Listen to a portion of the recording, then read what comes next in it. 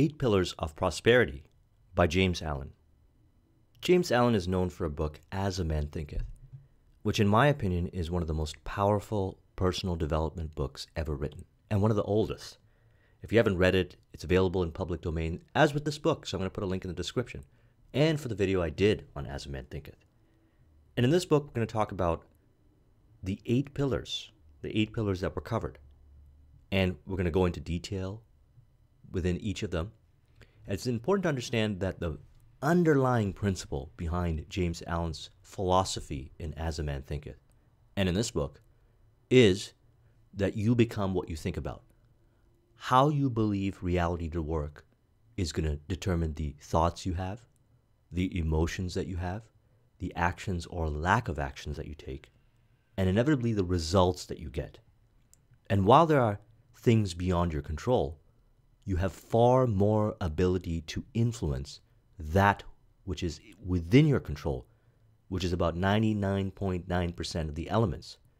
And all we have to do is increase our awareness and recognize that there's a lot of things we're just not looking at. As Jay Abraham puts it, the answer is always in front of your face. The problem is you just don't see it. The first pinnacle belief you have to have is faith in the possibility that you can make it happen. By having faith, you go to work to look in areas where other people would not look, to recognize that success is a consciousness, it's a way of thinking, it's a way of navigating reality. Some of us have success consciousness, and some of us have failure consciousness. The consciousness that you're going to have is going to largely determine the success or lack thereof you're going to achieve. So, we're going to talk about these important eight pillars here, which is going to further drive your understanding of success consciousness. And then the important recognition that if you want to achieve success in whatever area of your choice business, personal development, relationships, friendships, supporting the community, giving back, whatever your meaning of success is, these principles right here will shift the way you think into one of abundance consciousness, raising your consciousness up to the higher levels of consciousness where true power exists. Okay, we talked about this in the power versus force, force video. In lower states of consciousness, we use force and we confuse that with power. Higher level consciousness does not integrate force. There is no force. You act from a place of interdependence, okay, working with people. You don't need to take away from people to get what you want. You share, you combine, you work together, you partner with others to get what you want and what they want, and oftentimes at a higher level than if you didn't do the partnership. That's how it works in the higher states of consciousness. So, our goal is to raise our consciousness and to eliminate any kind of macro and micro based scarcity consciousness. And that's what we're going to talk about in this video. We're going to shift the way we think and we're going to elevate ourselves as a result of discussing these principles, as a result of watching this video, and as a result of really, really paying attention to how we respond based on what we're going to discuss right here we have within us the ability right now to raise our consciousness to that of higher levels of success, success consciousness. Prosperity rests upon a moral function. It is properly supposed to rest upon an immoral function, okay, lower states of consciousness, that is, upon trickery, sharp practice, deception, and greed. One commonly hears even an otherwise intelligent man declare that no man can be successful in business unless he is dishonest. Thus, regarding business prosperity a good thing, as the effect of dishonesty a bad thing. You see, there exists today far more opportunity than has ever existed before. Okay, we talked about this in the discussion I did on Eben Pagan's book, Opportunity. I'll put a link in the description.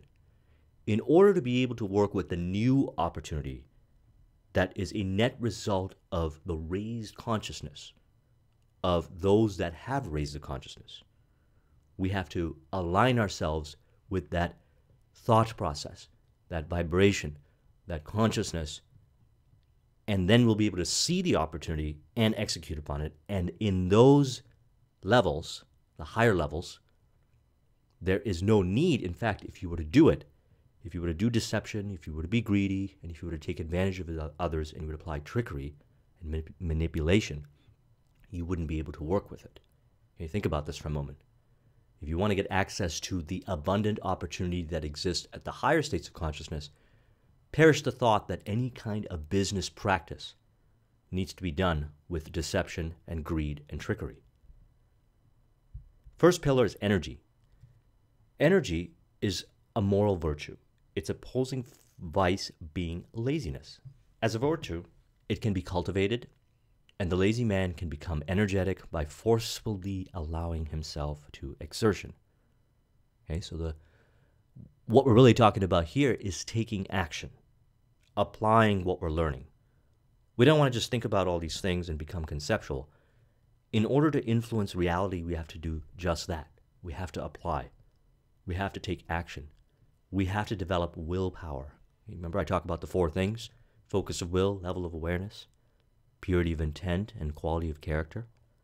Well, focus of will is developed by taking action, doing what you have to do, whether you feel like it or not, until you cultivate the joy and passion, knowing that it is a virtuous action that is going to lead, maybe even in the short term, medium term, long term, to a fruitful reward. And this is cultivated. Okay, this willpower, how you do one thing is how you do everything. When you apply it to business, it'll be easier to apply it to health, fitness, relationships. Self discipline and the ability to take action and to have a bias towards taking action is something that can be cultivated through taking action, only through taking action, not by talking about it. And the results is abundance, higher levels of consciousness. Those that achieve higher levels of consciousness have taken action to get to the higher levels of consciousness. And as a result of that, they have access to those opportunities that are even more abundant at those higher states of consciousness. Thus, they will get even more success. Hence the saying person gets a certain level of success, everything they then touch turns to gold. But energy is a composite power, it does not stand alone. Involved in it are qualities which go to making of vigorous character and the production of prosperity.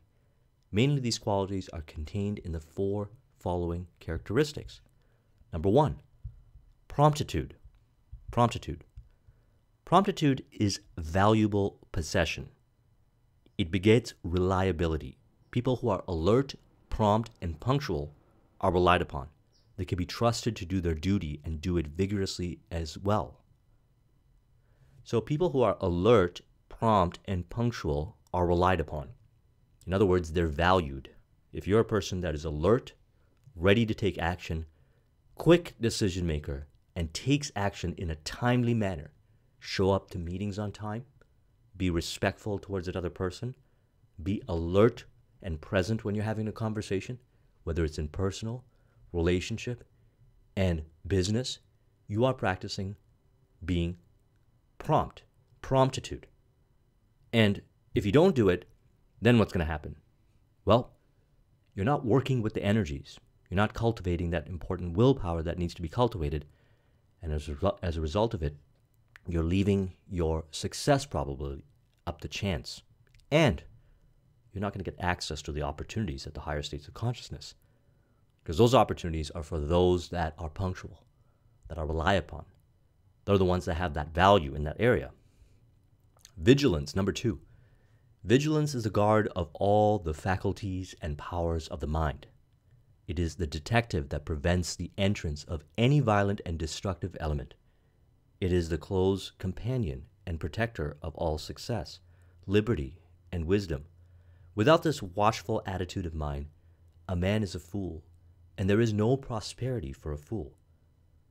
The idea here is you have to protect your mind the information that goes into your mind is influencing the energy that you have. It's mixing with your energy. When you're around energy that is negative, it's mixing with you.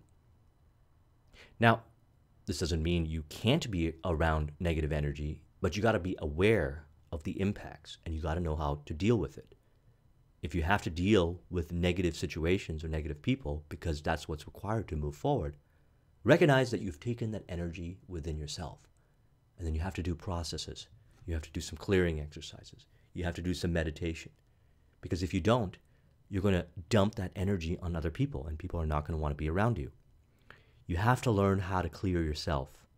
And if you can't handle that, if you can't do that, you might want to ask yourself why are you placing yourself in those situations where you absorb that energy? Why are you being so careless and being disrespectful to the people that you serve by bringing them negative energy? Industry. Industry brings cheerfulness and plenty. Vigorously industrious, industrious people are the happiest members of community. They're not always the richest, if by riches is meant a superfluity of money, but they are always the most lighthearted and joyful, and the most satisfied with what they do and have, and are therefore the richer, if by richer we mean more abundantly blessed. Okay? Industry brings cheerfulness and plenty. People that contribute, okay, create value for others, entrepreneurs, real value, not hypothetical value, not what you think is valuable from an egotistical perspective, but rather what is valuable to the marketplace. What they're going to take out money and buy. They're going to exchange if you're interested in barter. Value for value, and money is just a bridge for that value. It's just a means in which you can exchange value. They work for their money, and they give you their money, which is hard earned, to provide value for them, to them reinvesting it back in themselves. They're taking the money, giving it to you to take your value to reinvest back in themselves so they can create more value. Value, value for themselves, value for their community, value for those that they serve, their office place if they have a job, the factory if they work in a factory, their family, their friends, and so forth. That's what he's talking about when he's saying industry. It's the recognition of value and that those that are vigorously industrious are the happiest members of community because they support others. They create products that are needed and useful and beneficial. And as a result of it, they're rewarded greatly. And they're abundantly blessed, not just with money, but in all areas of your life. People who make themselves useful to the community receive back from the community their full share of health, happiness, and prosperity. One of the big themes of James Allen's work, especially in As a Man Thinketh, is you will always get what you put out. Whatever energy you put out, whatever actions you take, there is a specific response for that. And if you're not getting enough value back, then you're probably not creating enough value. Consider that to be an opportunity for you to really sit down and really evaluate what you're doing. And ask yourself, be real. Okay? Look at yourself in the mirror don't see the facade. Be real. And really ask yourself is what you're doing valuable for others? Are you really contributing to the community? Because if you are, then prosperity comes back to you in its equivalent nothing more, nothing less. That's how it works. Those that acquire a lot of wealth have figured out creative ways to work with the laws and the energies to multiply their value and provide more value in greater quantity of value, greater quality of value, and multiple aspects of value that might not be something that you see, but that their clients and those that they give value to experience.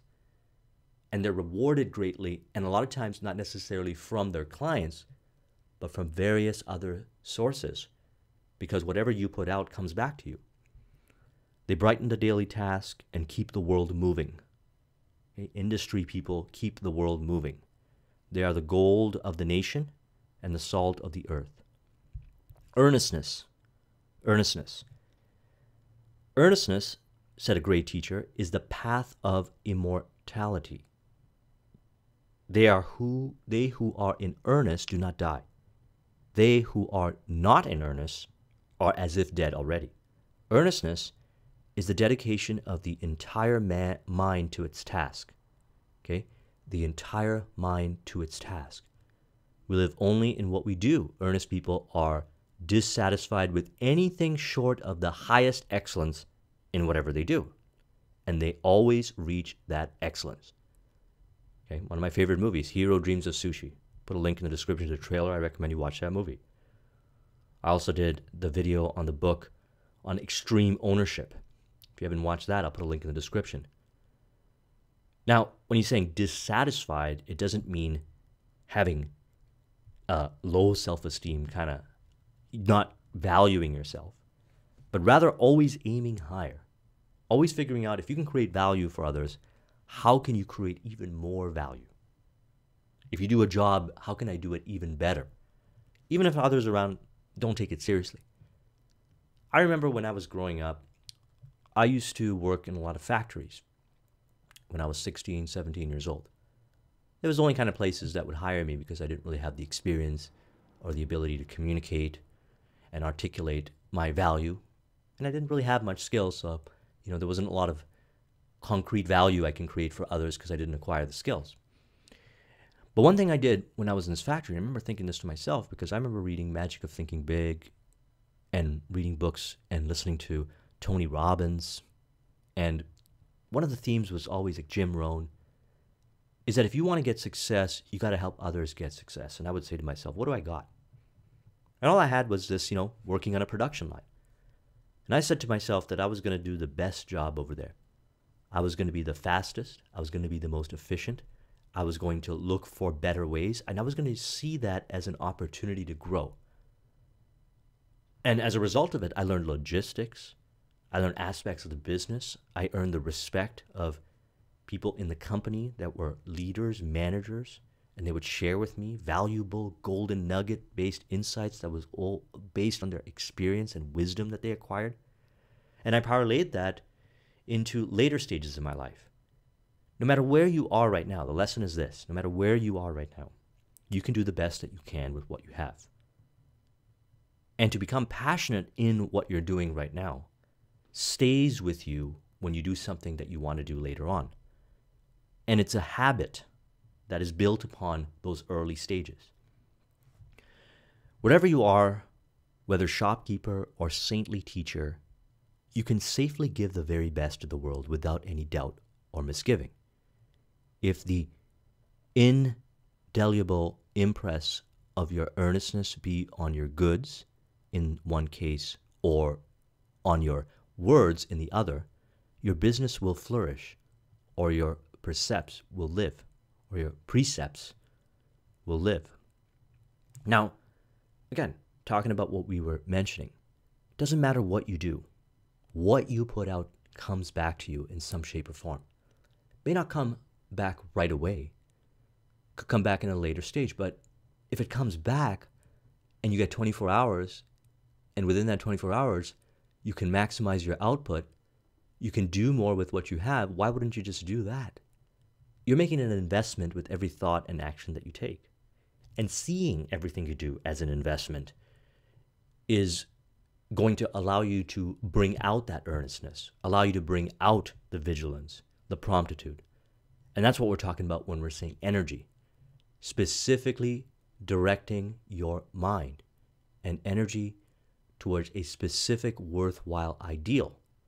As Earl Nightingale says, success is the progressive realization of a worthy ideal. It is both the journey and the end result. And when you get the end result, got to raise the bar higher. That is life. That's how you keep moving. And if you don't move, you're dying. Second pillar, economy. Nature destroys every foulness, not by annihilation, but by transmutation, by sweetening and purifying it and making it serve the ends of things beautiful, useful, and good. Nature works this way. We see it as bad. And when things happen, we're like, this person's bad, or what they do is bad, and this is bad, and whatever. Practice acceptance. At the higher states of consciousness, you accept people for who they are. Seek first to understand. You don't know why people do the things that they do. You don't realize fully the extent of the impact of a person and their life and what they need to learn and what they're going to contribute at a later stage of their life, the best thing you could do is accept that nature has a plan.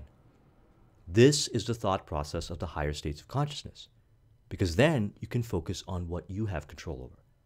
Granted, there's a thousand different things that you could do every minute. Tens of thousands, millions of thousands of millions of things. But what are you doing? And what you're doing should have an impact on some result. But you could do this or you could do something else. What is the highest and best use? When you recognize that there's foulness and whatever, understand something. That stuff is going to be taken care of. Okay, what people put out as far as foulness comes back to them, always in some shape or form. And sometimes you might have to take action, and sometimes you might not have to take action. That depends. But nature destroys every foulness with time. And our role is to recognize economy, recognizing that you have time, energy, resources, and opportunity cost. And how do you work with these things? How do you work with the assets if you're in business? The pillar of economy, when soundly built, will be found to be composed largely of these four qualities. Number one, moderation. Moderation is the strong core of economy. It avoids extremes, finding the middle way in all things. It also consists in abstaining from the unnecessary and the harmful. There can be no such thing as moderation in that which is evil, for that would be excess. So we're talking about right here economy. We're dealing with our time, energy, opportunity costs, and resources, and we got to be able to work with these elements in various configurations without being of excess, without wasting. And think of if you are making a dinner, would you buy an excess amount of whatever ingredients only to not have any storage and end up throwing it away? Or would you buy just the right amount? Seems obvious like you would just buy the right amount. Well, this is to be exercised in everything we do moderation. How much do we really need to produce the end result?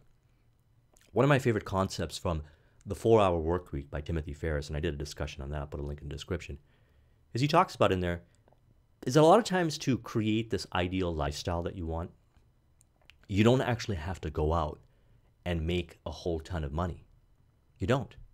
You just have to reverse engineer, figure out exactly how much money you need to pay for the life experiences that you want. And then also recognize there's alternative ways of getting those life experiences. For example, an app like Turo. A couple weeks ago, I rented a Porsche. Would I go out and buy a Porsche? Maybe in the future. Right now, it's not of interest.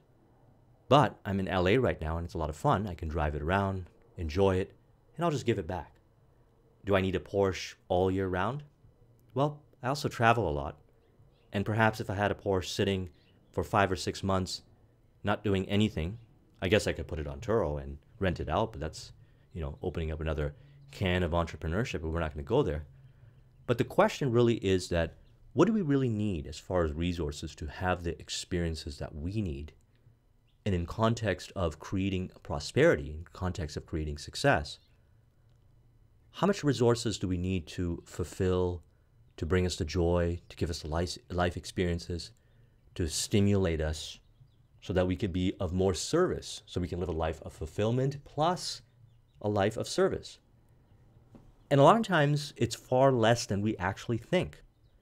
Because today, and you know, I was talking about Turo, the same is to be true with Airbnb. You can rent nice properties around the world, beautiful properties. Or you could rent something, let's say you're to work for one month and you're not interested in throwing parties and having all kinds of people over and doing the social thing, you just want to work. You can rent a small room in some city in a town or in a, in a country that's not as much to live in and you can focus on your work right there, keeping your overhead really low, make a bunch of money, and then go out and rent a nicer place, rent a nicer car, have experiences.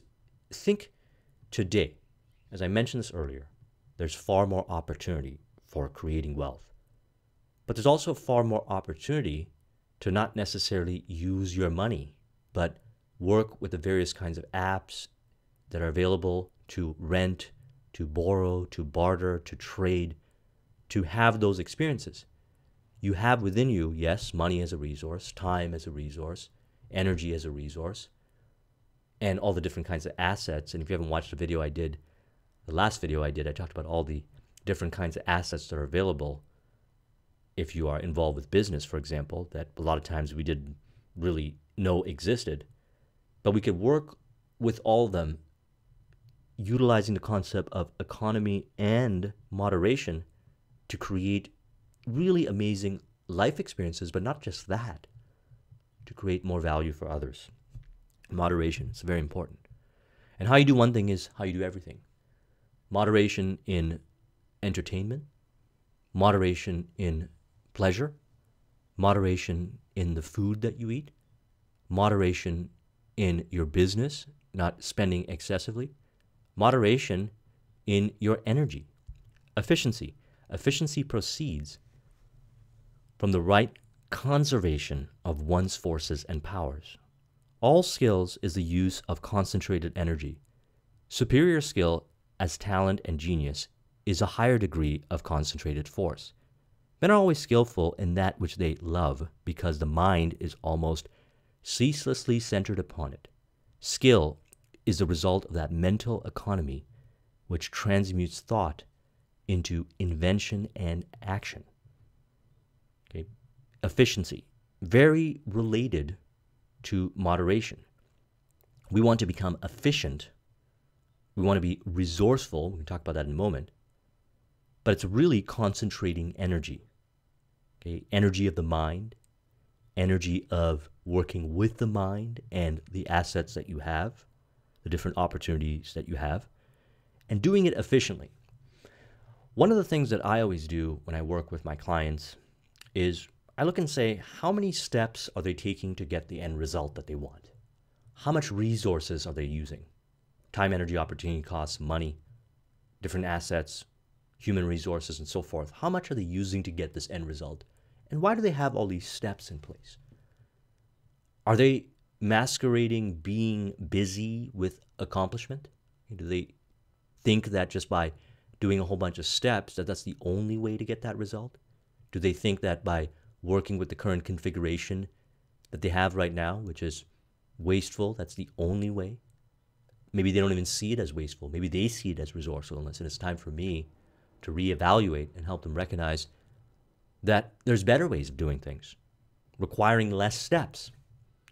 One of my favorite software tools is Trello, it's just a web based software, and it's a project management tool.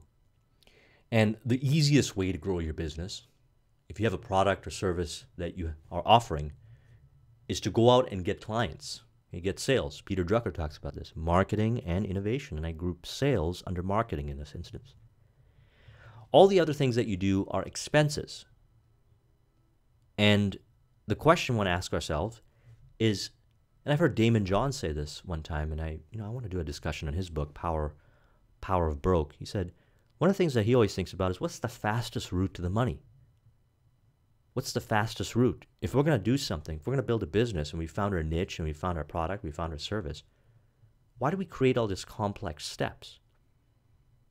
One of the things that happens is then if you focus on the fastest route to the money and you acquire the money, now you've got capital, which is a resource that you can reinvest back.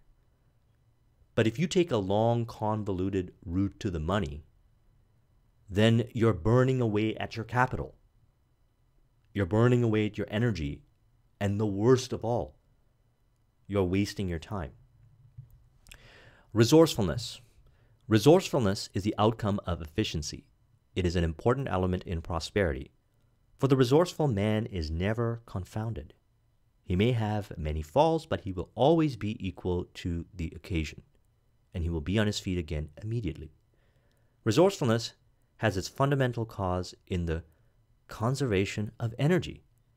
It is energy transmuted. When a man cuts off certain mental and bodily vices which have been depleting him of his energy, what becomes of the energy so conserved? It is not destroyed or lost, for energy can never be destroyed or lost. It becomes productive energy. It reappears in the form of fruitful thought.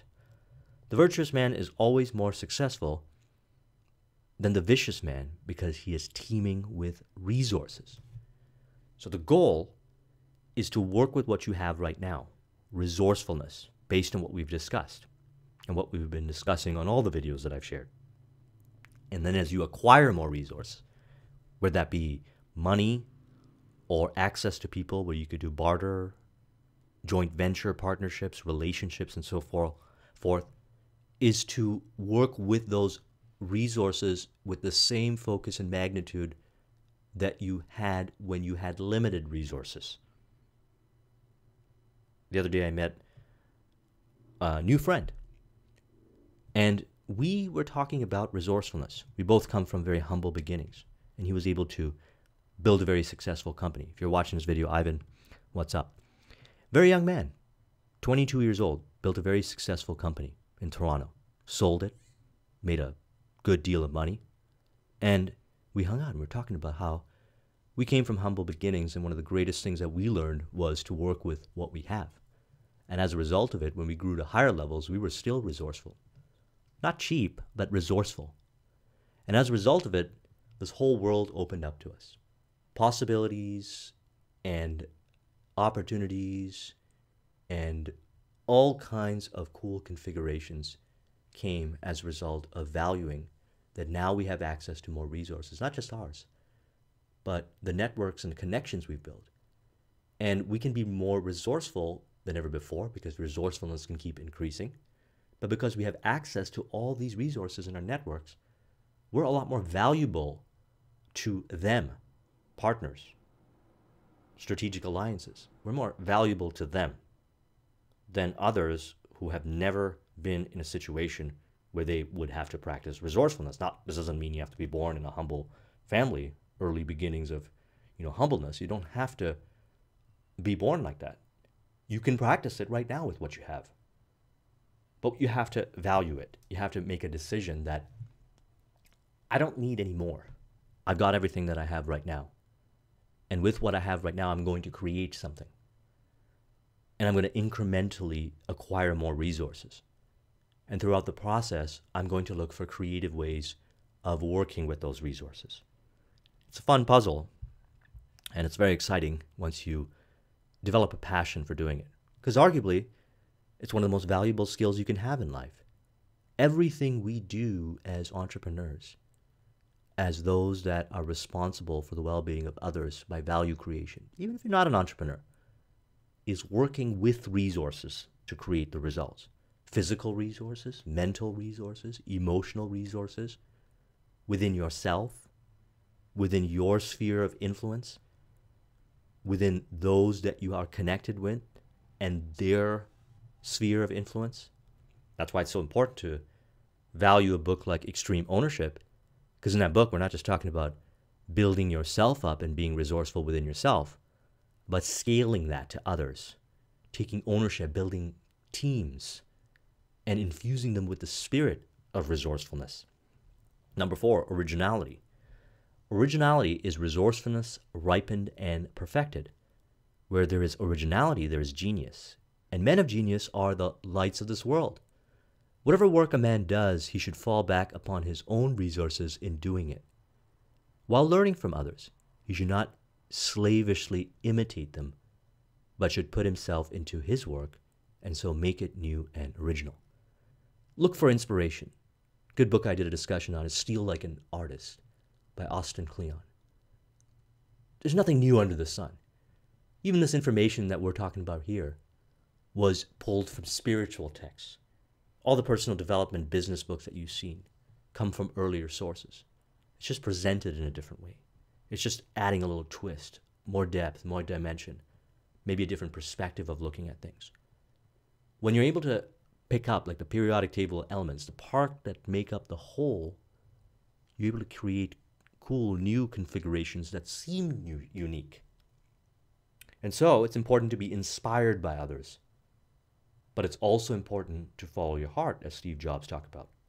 And that's why I really enjoy the book Autobiography of the Yogi.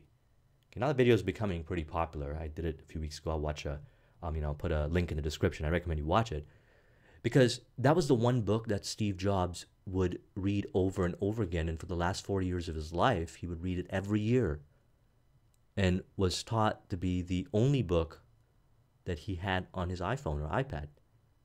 And when you go through a book like that, you recognize that the power is within yourself. You have access to what Napoleon Hill calls infinite intelligence. And you can draw upon this inner knowing and understanding. Be inspired by others, but don't be a copycat for them. Be inspired for them. Model after them. I'm a huge fan of modeling. A lot of who I am today is best practices based on those that I learned from, my mentors, and those that I aspired to be like. And they had varying qualities. Some were very resourceful, some were great communicators, some had an amazing way of looking at reality, some were very uplifting and inspiring, some were a lot of fun. You know, I just looked around and I said, what are all the bits and pieces that I can learn from different people? I got in contact with them. I worked for them. I hired them as mentors. I did business deals with them. And I learned from them. And I integrated what I learned from them into who I am, which is original. And so now when you look at the work that I do on this channel, it can appear to be very original. There isn't any hour, you know, two hour video long discussions on insights and perspectives on books that are built on mind maps that articulate my personality, but not because I want to articulate my personality to impress you, but because I'd rather use this format, which is pure, real to who I am, to share with you all this information to benefit you. This is how I've learned to share in a way that helps others create behavioral change. Again, we're talking about real value, but going back to the higher point, that's an element of economy. Number three is integrity. The man that courts prosperity must, in all his transactions, whether material or mental, study how to give a just return for that which he receives. So, this is about fairness. Okay, this is about not trying to take advantage of people and getting the upper hand. That's done in lower states of consciousness. We're talking about higher states of consciousness based opportunities, based entrepreneurship, based success. And in the higher states of consciousness, and if you haven't watched Power versus Force, you got to study the levels of consciousness. I thought he did a great job conceptualizing it. 200 and above is where power, real power, occurs, not mixed with force, not mixed with trickery, none of that. And so, what we want to do is we want to work from that perspective, with that level of consciousness. And that's all about valuing yourself, understanding again the strategy of preeminence by Jay Abraham, and that you would not disservice somebody by giving them mediocre products, mediocre service. You wouldn't do that. Because if you were to put that out, what you would get is mediocrity. If you were to put that out and take advantage of somebody now, it's going to come back to you later. It always does. The pillar of integrity is held together by these four elements. Number one is honesty. Honesty is the surest way to success. The day at last comes when the dishonest man repents in sorrow and suffering. But no man ever needs to repent of having been honest. Even when the honest man fails, as he does sometimes, through lacking other of these principles such as energy, economy, or systems, his failure is not the grievous thing that is to the dishonest man, for he can always rejoice in the fact that he has never defrauded a fellow being. Even in his darkest hour, he finds repose in a clear conscience. Clarity of mind is very important. The ability to think, the ability to reflect, will allow you to determine the course of action. If you cloud your mind with dishonesty and it eats away at your conscience, you won't be able to think clearly. And when you can't think clearly, how are you going to find the most efficient way to produce the result? How are you going to find the quickest, effective, fastest path ethically towards the money? If you don't live with honesty, and this is an ongoing journey because maybe if you come from different backgrounds like I did, and talking to my friend about this in earlier stages, you didn't have access to people that would teach you these kind of things that we learned through our mentors. A lot of people at the lower states of consciousness thought that people at higher states were dishonest. They thought that people that had a lot of money were evil. I know a lot of people that have money, and all of them that I know. Now, not to say that people who, all people who have a lot of money are, are angels, but all the people that I know that I've met, my friends who've acquired a lot of business success and as a result wealth, strive to improve and refine their honesty. They become more and more honest. And as a result of that, they're able to do better business deals. If they ask somebody for a high amount for a product or service that they're selling, the other person will say yes because they can receive the honesty and integrity in the communication. They don't need to trick somebody or strong arm them into buying. They communicate because they know how to find the right people who are actually looking for that product or service. And if the market does not exist for that, they'll find something else to sell or create. Fearlessness. Fearlessness. Fearlessness accompanies honesty. The honest man has a clear eye and an unflinching gaze. He looks his fellow men in the face, and his speech is direct and convincing. The liar and the cheat hangs his head. His eyes is muddy and his gaze oblique.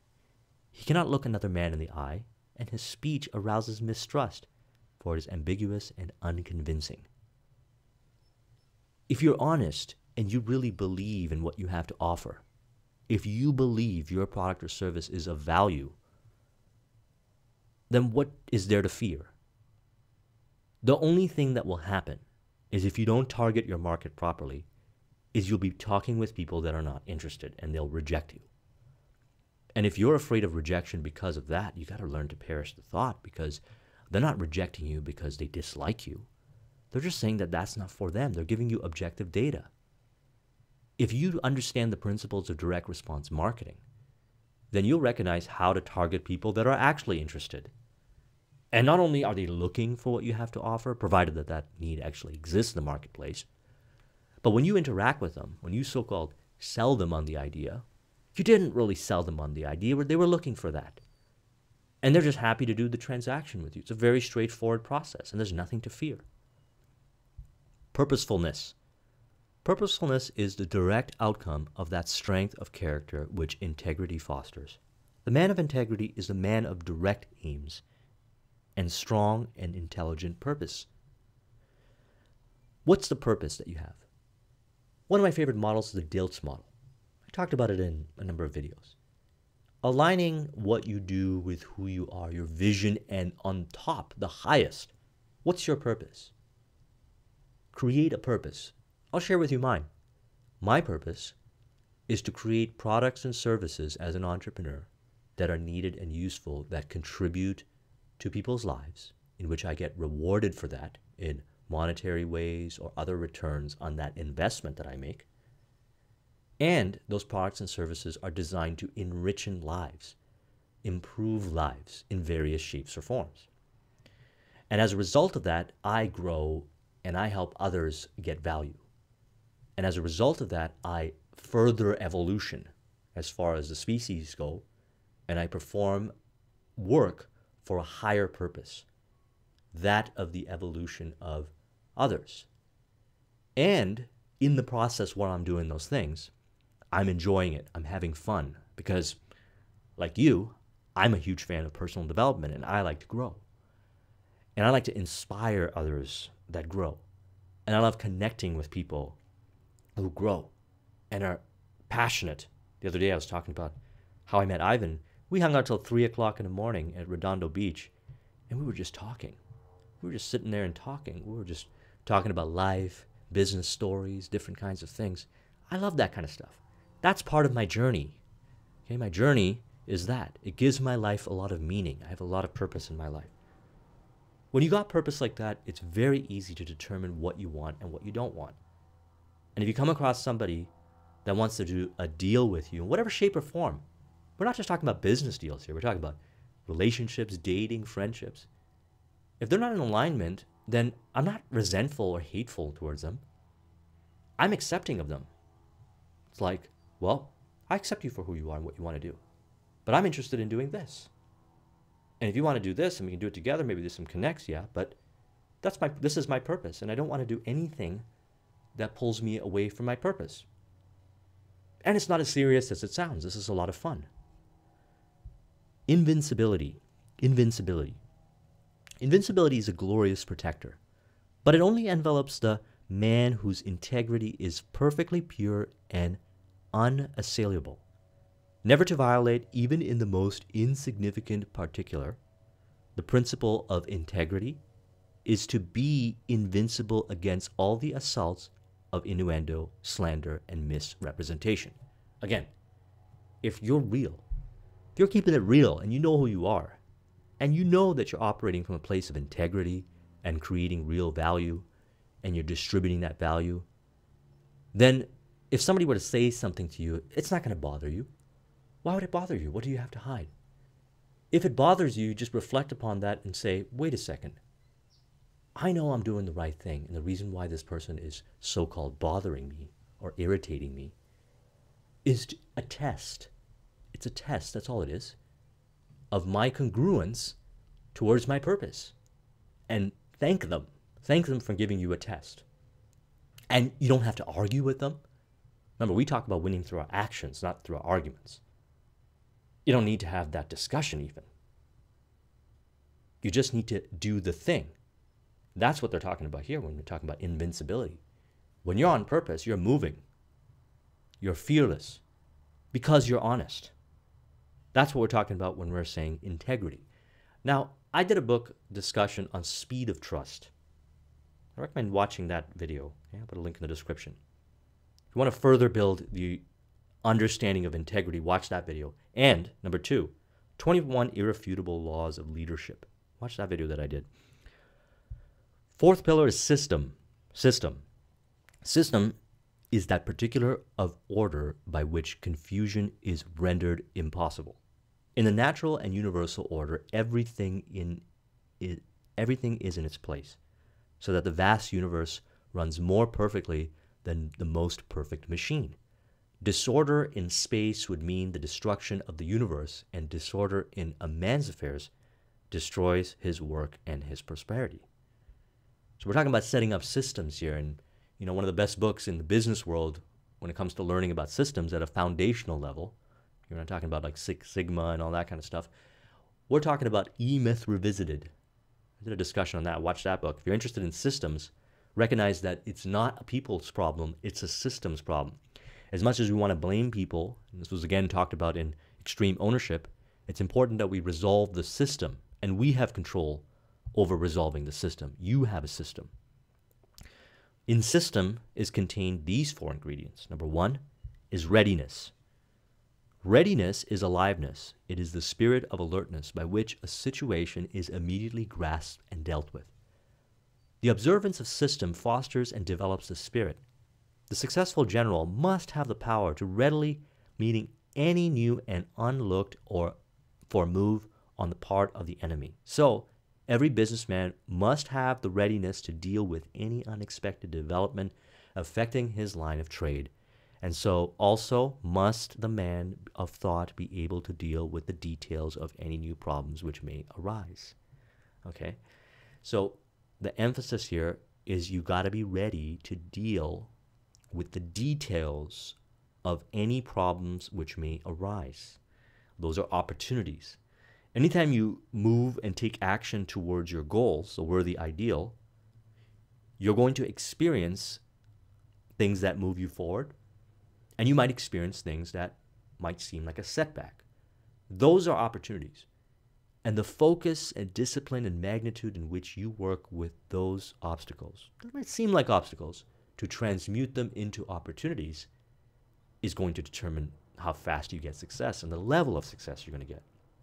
For every opportunity, I should say, for every obstacle overcome is the discovery of many opportunities. You'll learn new ways of solving the problem.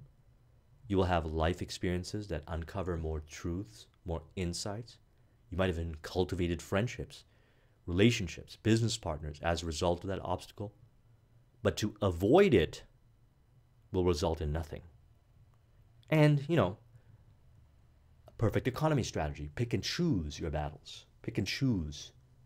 But recognize if you do it with enough awareness and presence, okay, level of awareness, that every single problem that you have will not only give you a way of solving it, but alternative ways of solving it, how you could prevent it yourself from getting into that problem, proactiveness, how to take what you learned in that particular problem and apply it to somewhere else. It will increase your self esteem and your self confidence. And when you increase your self esteem and your self confidence, your communication skills improve. You see, there's so much value here in taking action. And we can go on, on and on and on about the different elements of the value of taking action. But you got to be able to move quick so that you can learn faster. And the faster you learn, the faster you're going to achieve success. Accuracy. Accuracy is of supreme importance in all commercial concerns and enterprises, but there can be no accuracy apart from system. And a system which is more or less imperfect will ev- evolve its originator in involve its originator in mistakes more or less disastrous until he improves it. If you have a company, if you have a business, look, as an entrepreneur, anything that I do as an entrepreneur, I can start it out and I can keep improving it, but there's always going to be weak areas. It always gets better. Think of the most sophisticated gadget, sophisticated app, software. There's always issues. And those are opportunities to make it better, better and better and better. And the more we make it better, the faster we make it better, the less likely we're like going to have a disastrous thing that happens. But if we ignore it and we just let it slide and we just keep putting it off, when we have the time, energy, and resources and the opportunity cost to address it, then that's just a form of laziness. We talked about that earlier. Now, understandably so, we have time, energy, resources, assets, opportunity cost, and sometimes the business grows really fast and you can't address everything. There's no way you can address everything. And as a result of it, things will break. You know, look at Uber, for example. As Uber grew rapidly, there was all kinds of issues with Uber. You know, taxi companies were upset about the whole thing, legalities, customer service. There was a lot of different things. They did the best they could. And could they have done better? Well, I don't know how the organization works. Was there areas they needed to improve on? Of course. Every business has areas they can improve on. And the areas that we don't improve on is where the disasters happen.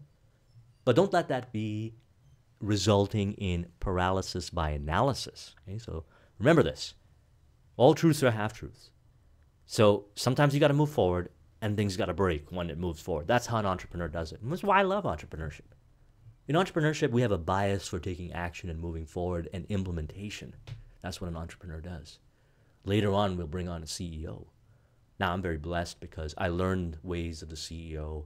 I was mentored by high level executives, and I learned the ways of an entrepreneur, and I was mentored by entrepreneurs. So I have a good balance and an appreciation for both. But that's what a CEO does is come into an organization and with such precision is able to see all the connects and dots and assign and align the teams and a structure. Again, Extreme Ownership, such a great book for CEOs. And implement and improve. But accuracy is very important. Number three is utility. Utility or usefulness is the direct result of method in one's work. Labor arrives at fruitful and profitable ends when it is systematically pursued. If the gardener is to gather in the best produce, he must not only sow that and plant, but he must sow and plant at the right time. And if any work is to be fruitful in results, it must be done seasonably, and the time for doing it, a thing must not be allowed to pass by. You know, we talked about that in the video. Opportunity is now and in the future, opportunities are going to increase, but the window to execute upon the opportunity before someone else does is smaller than ever before.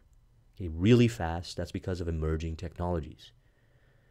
And we also talked about Uber being an emergent of a whole bunch of different technological breakthroughs in communication, physical technological breakthroughs, okay, like a phone and the advancement of the physical phone, as well as software elements and different kinds of technologies that were integrated from a software perspective, plus needs and logistics and a whole bunch of different pieces, which created that opportunity in which they had executed upon. There's a lot of these that exist, more so than ever before. Now, I don't understand why anyone can't find a viable opportunity. Personally, I mean, I understand why. Because when we don't understand the dynamics of what makes a viable opportunity, it's understandable to then realize that we're not looking in the right place. We're not thinking critically the right way for what is a viable opportunity. So I'll take that back and I say I do understand, but you know what I mean. There's more opportunity today than ever before if we just practice some critical thinking and recognize that with critical thinking and evaluation, opportunity is increasing, but also uh, going away really fast. And if you miss an opportunity, don't worry about it. There's one right now. You can pause this video and you can go find another opportunity. In the various business transactions and deals that I'm involved with and configurations, most of you know right now my YouTube channel, my online training programs, and maybe some private coaching and consulting that I do in the in the sphere of business and personal development and entrepreneurship training and cultivation. But you don't know about the other things that I do, the other businesses that I'm involved with, businesses have that have nothing to do with any sort of personal development or business consulting or business operations or anything like that. Because I look at different opportunities I haven't execute upon them, but then there's even more. There's tons of prospective deals right now that I've been proposed. Real concrete money deals. Okay, people will actually pay money for me to do these different kinds of deals. And I can't do it because of time, energy, resources, and opportunity costs. Yeah, I could hire more people and so forth, but there are other elements to the puzzle that you know I'm not going to get into a lengthy discussion on in this video. But what is really happening with me and what I'm noticing is there's far more opportunity now, concrete, viable opportunity that has ever been. And it's not just me. It's not just me. It's everyone that I know. And it's everyone that even gets in contact with me. So it's not a net result necessarily, although it helps, of being an entrepreneur for so many years and building so many relationships and learning so much and experience. It's not just that. Now, even those that have no experience and have no understanding of, of entrepreneurship or business building, they have access to opportunities. I'm sure you can take an inventory right now. Think about what are viable things that you can do to earn money. I'm sure you can find what those things are right now. Based on all these discussions that you have, you you know, we've been talking about all kinds of ways to identify opportunities. You'll find a list of them. And all you got to do is take action. All you got to do is apply what we're learning. And you don't have to be perfect, but you'll get better. But if you do nothing, then nothing is going to happen. Comprehensiveness. Comprehensiveness is the quality of mind that enables a man to deal with a large number of related details to grasp them in their entirety along with the singular principle which governs them and binds them together. It is a masterly quality giving organization and governing power and is developed by systematic attention to details. It's important to not lose sight of the big picture and hold the polarizing thought of valuing attention to detail. Okay, both is important. If you lose sight of the big picture, then you get caught up in all these details and doing work that masquerades as accomplishment. If you get too caught up in the big picture, then you're going to become very esoteric and ungrounded, not practical. So it's important to value both. Both are important. And over here, what we're talking about is comprehensiveness, okay, valuing it. Some entrepreneurs don't like it. Well, if it's not who you are and you don't want to do it, it's important to work with somebody that can do it. And they can help put in the systems and tools and everything in place. We're talking about systems here to make your business run like a machine, provided that's what you want to do. But if you don't do it at all, then things will fall apart. Next is sympathy, fifth pillar. Sympathy is a deep, silent, inexpressible tenderness which is shown in a consistently self forgetting, gentle character. Sympathetic people are not gushing, but are permanently self restrained, firm, quiet, unassuming, and gracious. Lack of sympathy arises in egotism. Sympathy arises in love. Okay? Another one of the higher states of consciousness is unconditional love. Okay, not I love you, and if you don't do this to me, I don't love you anymore. Unconditional. You you love, you express, you share, you care because that's who you are. That's a higher state of consciousness. That's what we're talking about here. Egotism is involved in ignorance. Love is allied to knowledge. A lot of knowledge is available to the person. Very, very few people operate from a perspective of unconditional love. And even if they do, they don't do it all the time. And those that have access to unconditional love can recognize that at that level of consciousness, there's more knowledge available, different kinds of knowledge. Einstein always said this. You can't solve the problem in the state in which you create it. And thus, when you raise up, you level up your consciousness into a place of unconditional love, you get access to even more profound knowledge. How do you think that Napoleon Hill was able to gather the knowledge that he shares? How do you think that James Allen was able to gather this knowledge? They've raised their consciousness and they got access to this knowledge. This knowledge was within them. Yes, Napoleon Hill was sanctioned by Andrew Carnegie and you know he was stimulated by those, but he reflected within to recognize if it was true or not. And as a result, he became and as a result of becoming, the impact of what he did lived on through many years. Look, how many years have gone by? We're still talking about Think and Grow Rich. How many people were influenced by Think and Grow Rich? I did almost a three hour video on Think and Grow Rich because it's a powerful book, because it's a transformative book. It was a book that changed my life. It was the book that raised up my consciousness. Beyond the, beyond the material results came something even more profound, opening into higher spiritual realms. The discovery of books and realizations found in Autobiography of the Yogi, Becoming My Own Best Friend, a book that I did a discussion on. All that started in that journey, higher levels of consciousness. Fourfold are qualities which make up the great virtue of sympathy, namely, number one, kindness. Kindness, when fully developed, is not a passing impulse, but a permanent quality. That means you're kind to everybody unconditionally.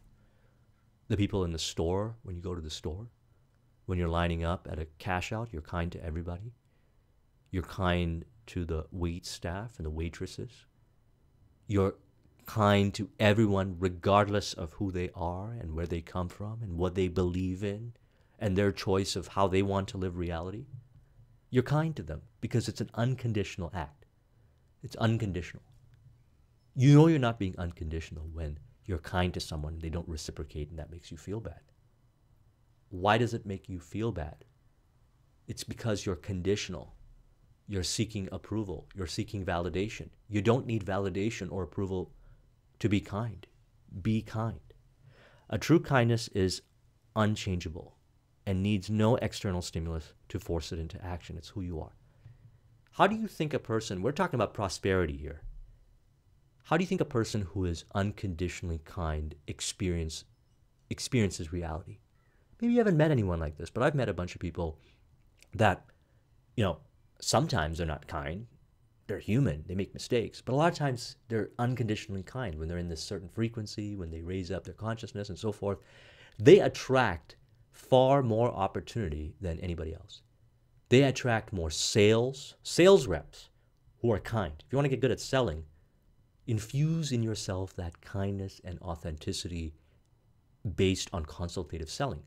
Now, my kind of selling is consultative selling, and that is listening, and it's almost therapeutic for your prospect. It is therapeutic for your prospect because you listen so deeply, you care so deeply, even if they buy or not. You do it anyways. Why? How does it help you? What if they don't buy? Well, it doesn't matter. It's an exercise, it's unconditional. If they don't buy, they refer you to somebody. A lot of times that's true if you're a person that's kind to one person and then somebody else comes by and you're not kind to them, now granted, we only have a certain amount of energy and we can't be so, you know, conversational with absolutely everyone. That would be impossible. But we can be more gracious. We can be kinder. And we can say stuff like, you can't communicate with someone. I apologize, I can't talk right now. I'm just involved with this. All kinds of ways. I'm not going to get into the nuanced details, but it's an energy. It's more about the energy. And the other person, you can feel it. And it's an exercise because you get better at it. You're going to see. It's not easy to always be kind all the time, but it's worth it to practice it. A true kindness is unchangeable and needs no external stimulus to force it into action. Generosity. Generosity goes with a larger hearted kindness. Its kindness be the gentle sister. If kindness is the gentle sister, generosity is the strong brother. A free, open hand, a magnanimous character is always attractive and influential. One of the things that one of the ways that I am, and I talk to a lot of people about this, is is when I'm hanging out with friends, or if I'm hanging out with business partners, or doing a business deal, or wherever we are. I'm always going to be generous with my energy, and it's going to appear that I've got all the time in the world, and I set myself up to be like that because I never wanted to be that person because I've experienced it many times before, where they think they're more important than the person that they're communicating with and their time is more valuable. So they act and they even say, I'm busy and I can't get back to you, and all these different kinds of things that implies at a nuance level, okay, this is about nuance as well, that they don't respect. And it's a sign of not respecting themselves.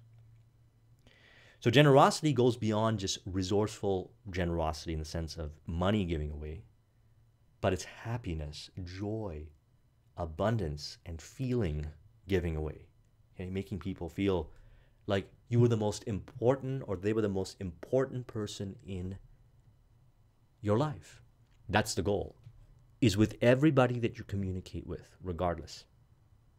You make them feel that you think about them all the time. They are the most important person. They have to feel that. Okay? Something happens when they feel it. You can't make them think it.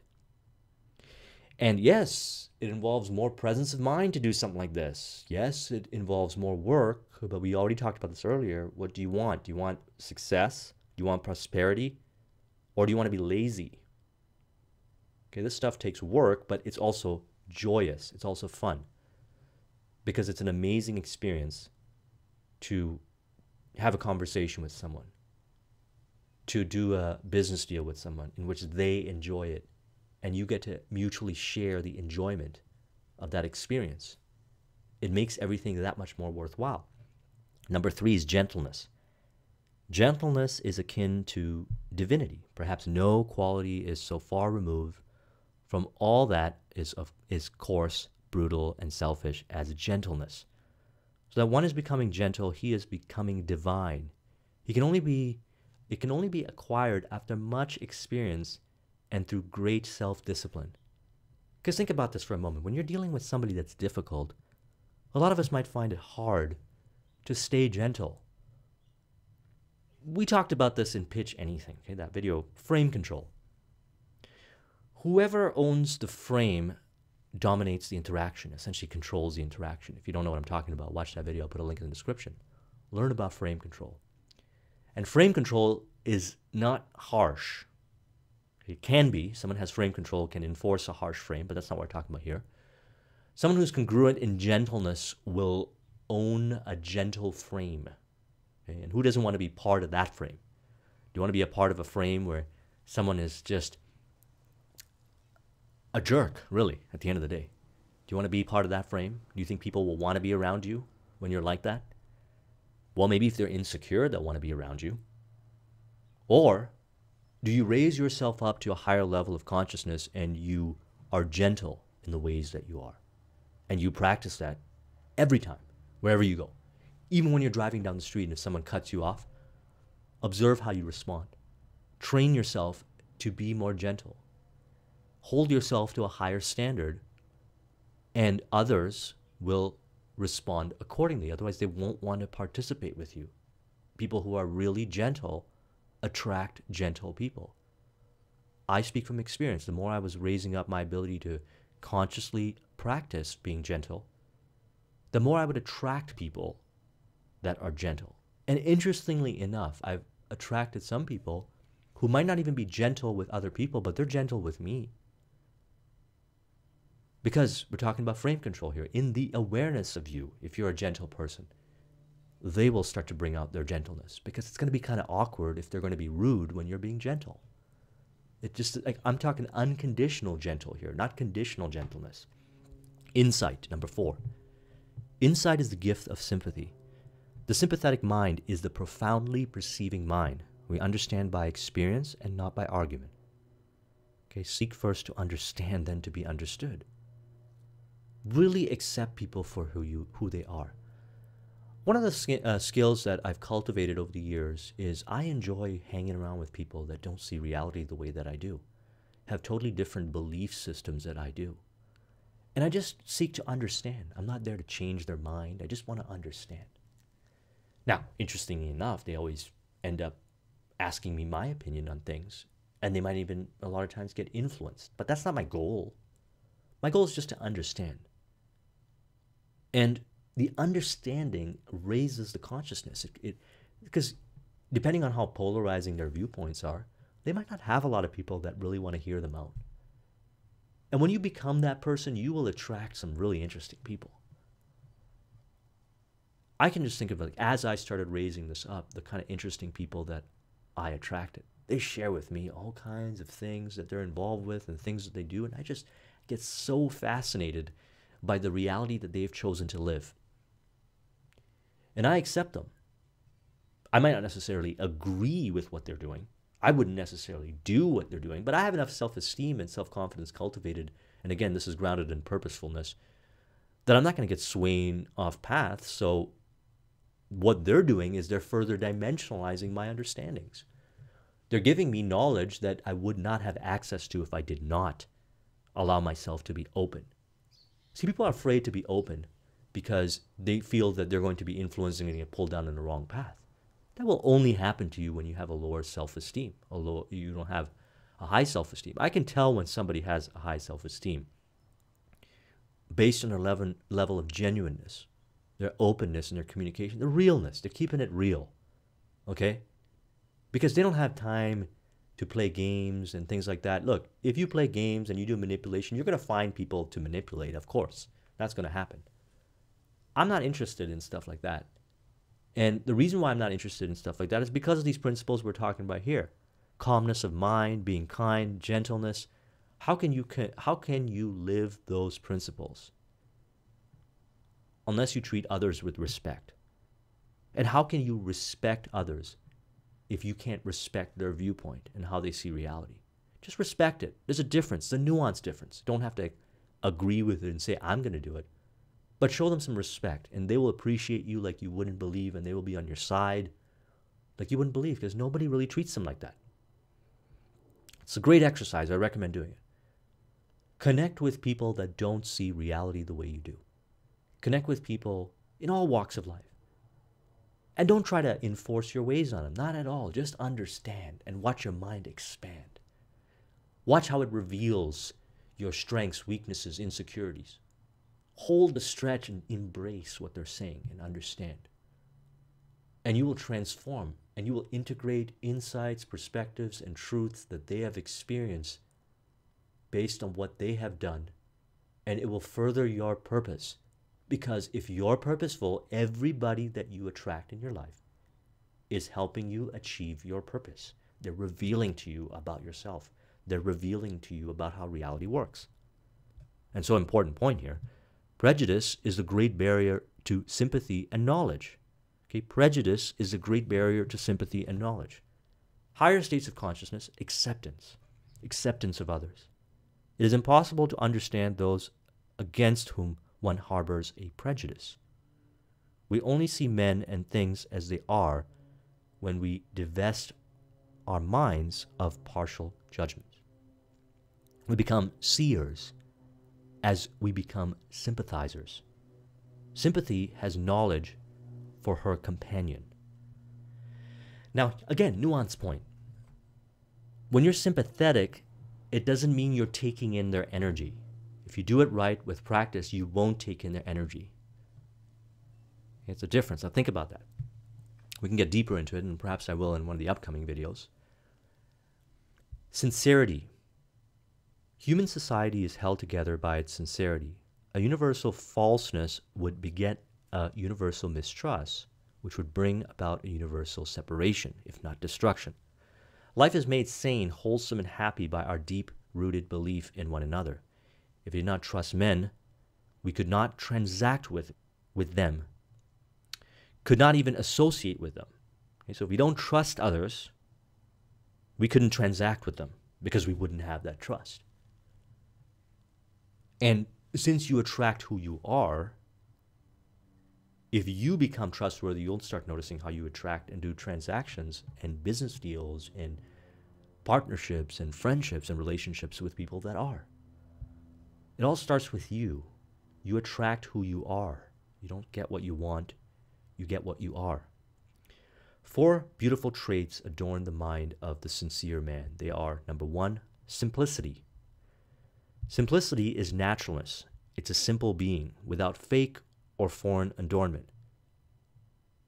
One of the reasons why I'm a huge fan of minimalism, and I talk about this all the time, is because I like to focus on what's important to me and my purpose and my contribution to others. And that gives me clarity of mind.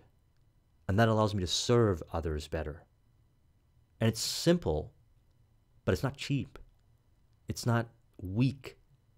It's actually from a place of power, a higher level of consciousness power, because it increases my focus.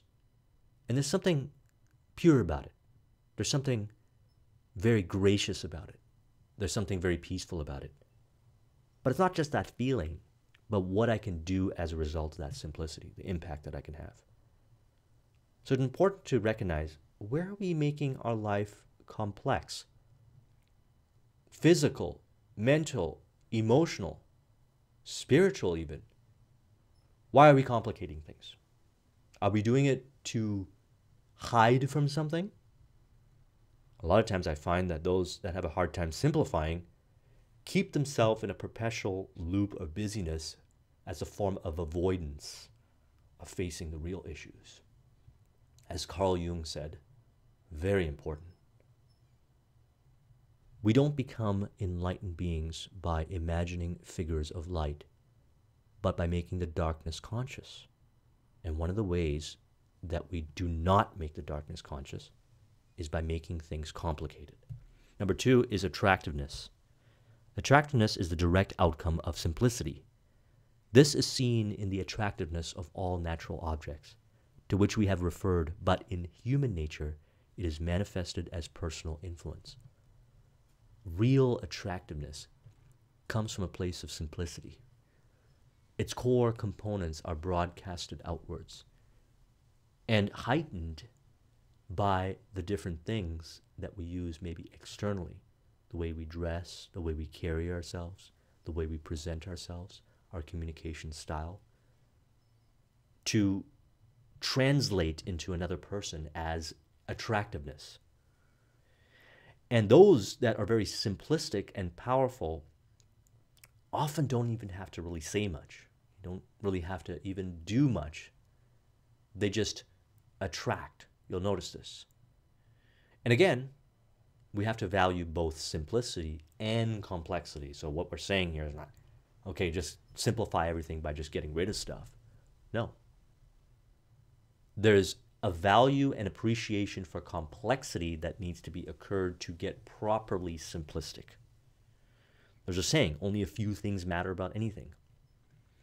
I learned that quote from a 10 minute talk that Darren Hardy did a while back. I'll put a link in the description if I can find that. And he talked about a very successful person who got to a really high level, and the greatest piece of advice that they could transfer over to the generations was that only a few things matter about anything. Like really reflect upon it and watch or listen to that audio. If I find it, I'll put it in there.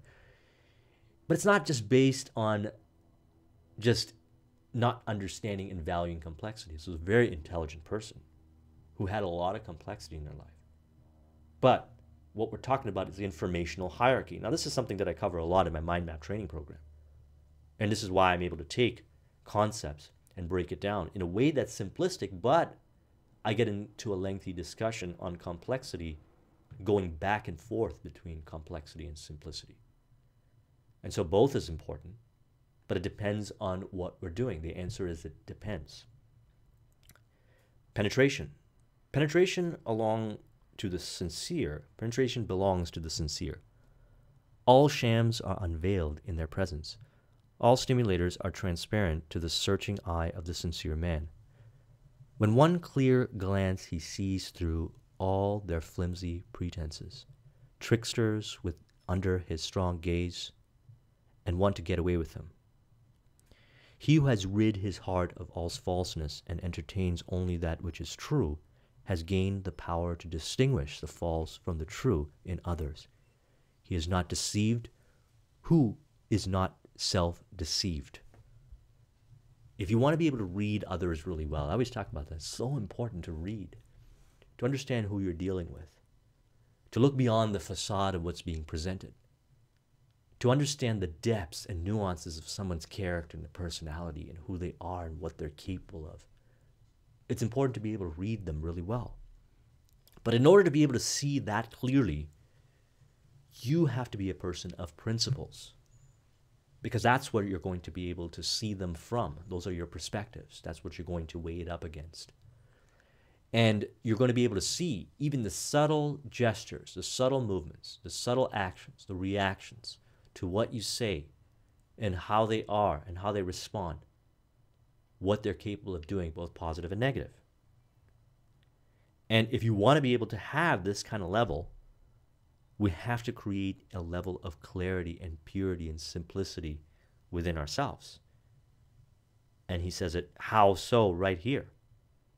Rid his heart of all falseness and only entertains, and entertains only that which is true. That's how you can distinguish. And you get better and better with practice. Now, how do you think this helps you in the world of business? Well, I'm sure you might have already thought of this as I said that.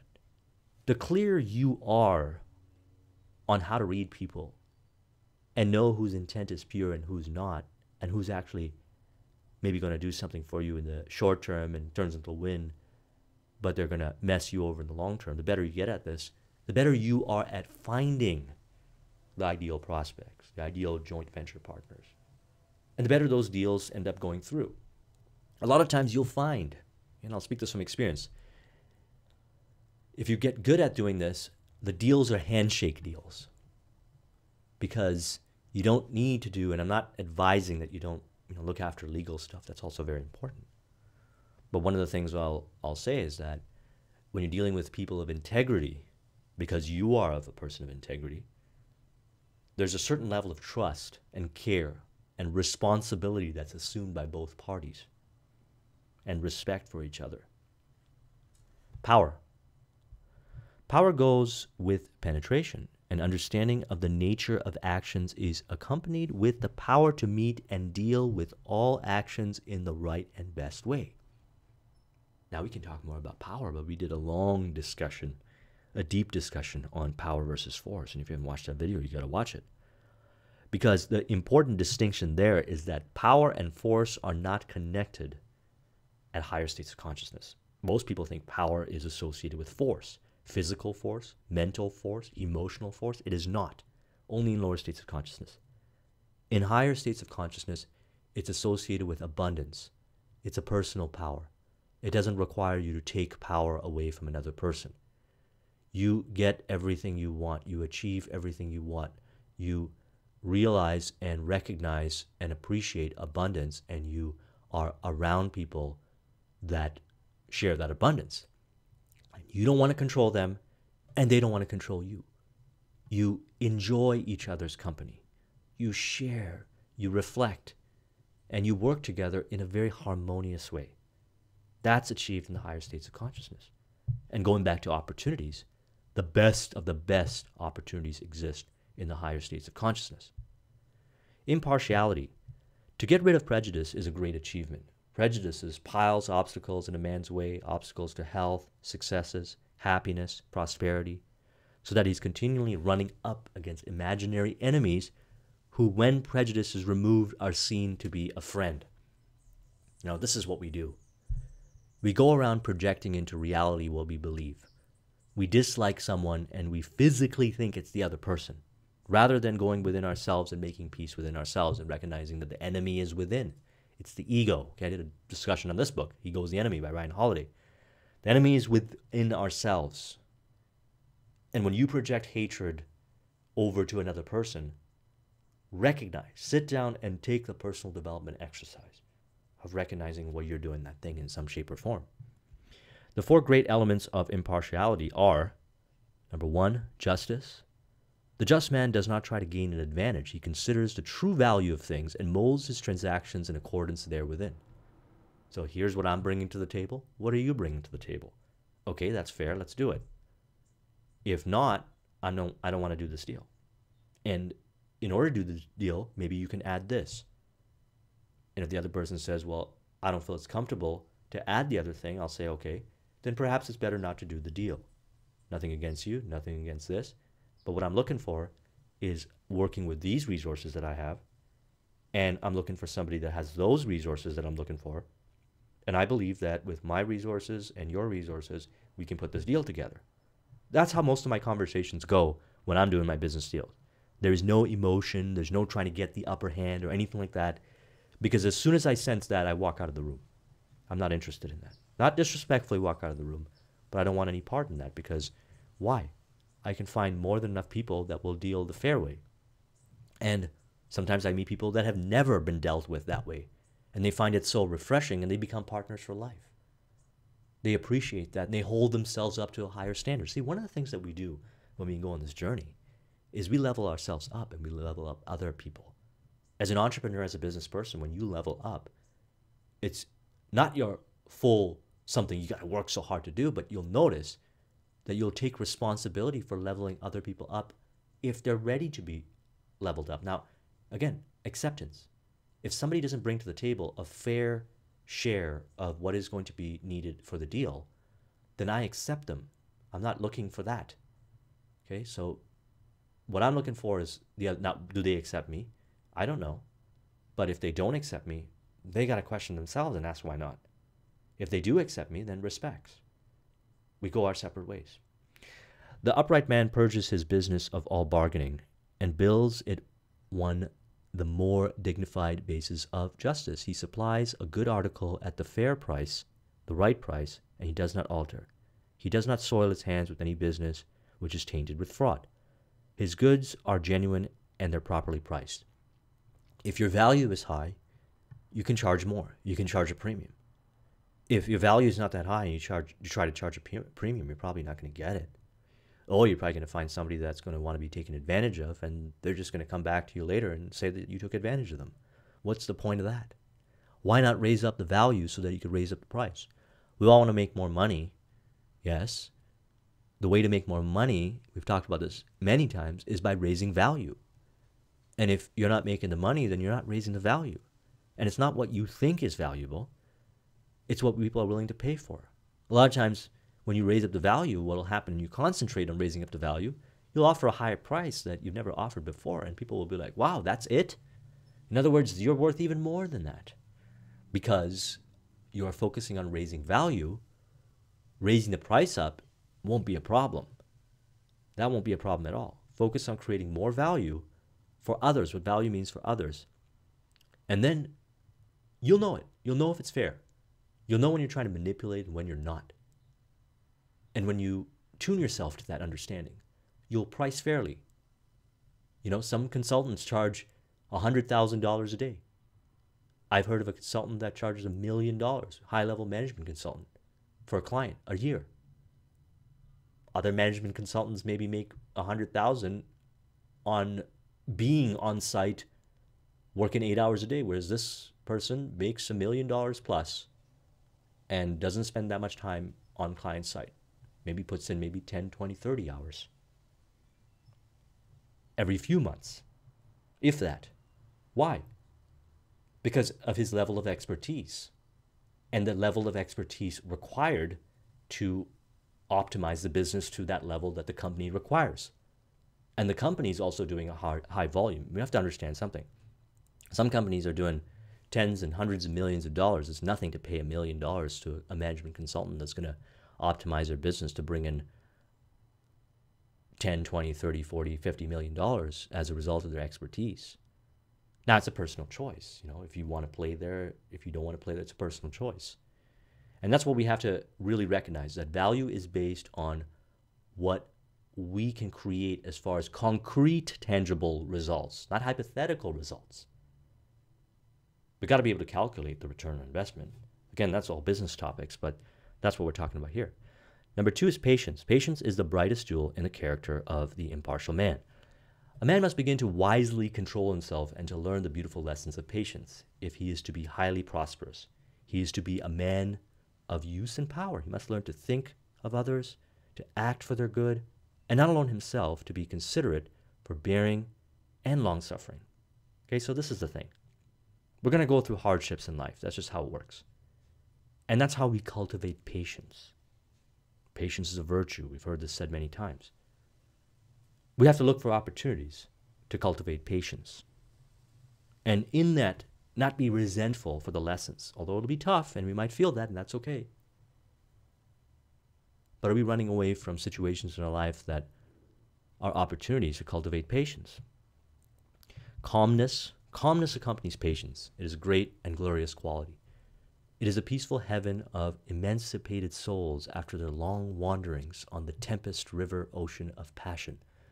It makes the man who has suffered much endure much, experience much, and has finally conquered. It makes a man who has suffered much, endured much, experienced much, and has finally conquered. That's when you get calm. And I also believe it's an ongoing journey. You can increase the level of calmness. But you know you've gotten to a certain level of real calmness when you find yourself in challenging situations that were once situations that would throw your balance all off and you would feel chaos. But you say, yeah, we'll figure this out. It's going to work out. Yeah, we can do this. You know, a couple things. I may not know the answers right now, but here's some things we can try. And then when we try it, we're going to get some responses. And based on those responses, we'll adjust accordingly. Number four is wisdom. Wisdom abides with the impartial man. His counsel guides him. His her wings shield him. She leads him along pleasant ways to happy destinations. The understanding mind needs no external support. It stands on itself on the firm ground of knowledge, not book knowledge, but ripened knowledge. It has passed through all minds and through and therefore knows them. It has traveled with all hearts and knows their journey in joy and sorrow. Wisdom, again the theme, comes through applying what you're learning, experiencing, having reference experiences, and being diligent in your practice, tracking, analyzing, figuring out how to optimize. That's how you gain wisdom placing yourself in challenging scenarios in which you grow. Seek to understand people and see their view of reality and appreciate them. The eighth pillar, self reliance. If we rely upon the light of another, darkness will take upon us. Darkness will overtake us. But if we rely upon our own light, we have but to keep it burning. In earlier stages of life, we're looking for others to support us, to help us. Some of us go into adult lives and still want support into others. And while there are others that, you know, don't really have the resources or mental capacity or physical injuries and so forth that need and need to rely on people, that does exist.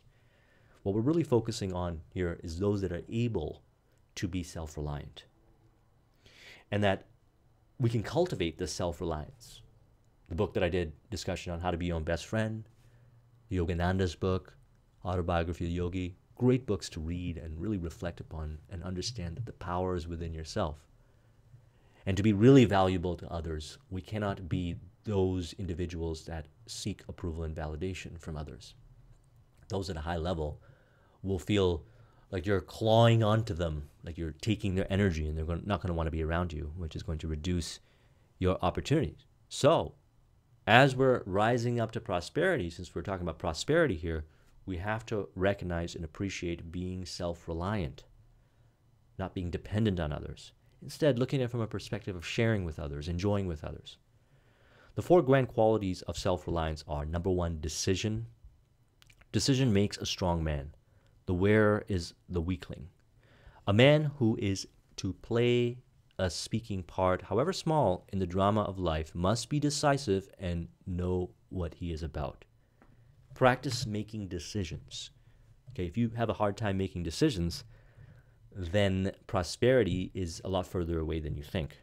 We got to be able to make decisions. You're not always going to make the perfect decision. What is the perfect decision? Even if you make a decision and it gets you the result you want, there's probably another decision you could have made that could have gotten you a better result. Or you might not happy, be happy getting the result that you want because you thought you were going to get that happiness. But another decision could have gotten you something that would be true happiness. But the bottom line is this decisions need to be made. And we need to get better at making decisions and we need to get faster at making decisions, which brings us to our next point steadfastness.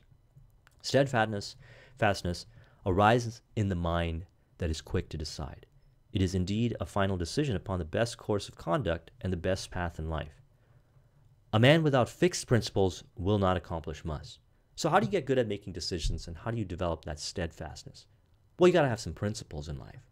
Okay, read a book like Principles by Ray Dalio. I did a discussion on. I'll put a link in the description. That particular book is got some very sound principles in there broadened my perspectives and contributed to my own principles in life.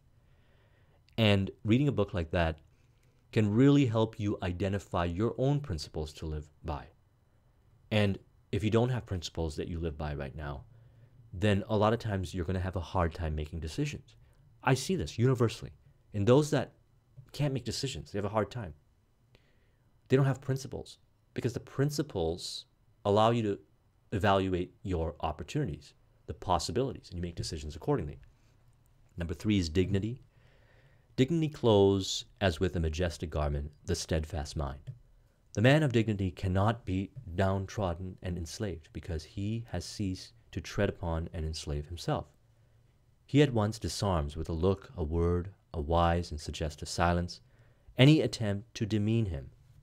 So we're talking about self respect here and having self worth. And one of my things, and you know, I'm very adamant about this thing, not in a forceful way, but just in a this is how I want it type of way, is that I'm not going to end up in an environment or a situation where I feel demeaned. I will not do that to myself. I will not disrespect myself like that because by disrespecting myself like that, I'm going to absorb the disrespecting energy and I'm going to transfer that over to my friends, my clients. I'm going to transfer it through this video. What kind of service am I being to you if I do that?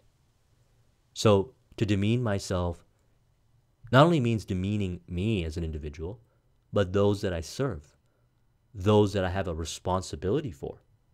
I see what I do as a responsibility, and I enjoy this responsibility.